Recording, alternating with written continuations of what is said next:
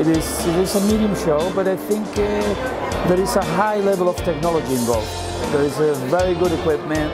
There is a lot of high-tech nutrition. I didn't see that much of pharmaceuticals, which is actually giving us a very good impression about the possibility to bring our European brand here and be able to compete uh, with the local brands.